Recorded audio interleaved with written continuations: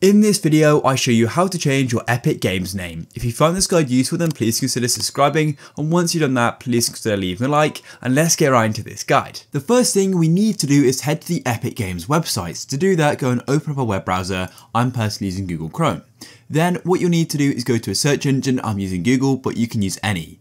So you could go straight to epicgames.com, or you can just go and search for it, so just type it in, E-P-I-C, G-A-M-E-S like so and make sure you go to the official website which is epicgames.com, it should be right at the top. And now what we need to do is go and sign into our Epic Games account. So go to the top right and then go and tap sign in like so and it's going to go and take a moment to load.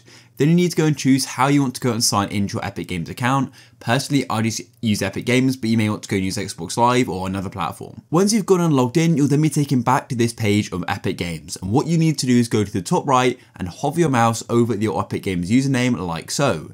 Then what you need to do is go and tap on account like this, and it's going to go and take you to your account settings.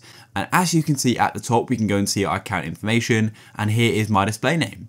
As you can see at the moment it's Tucker TM. Then what you need to do is go to the right of it where we've got this pencil icon and this is basically an edit and change button. And what this please don't message is saying is basically saying that you can't go and change your username for another two weeks after you've gone and changed it.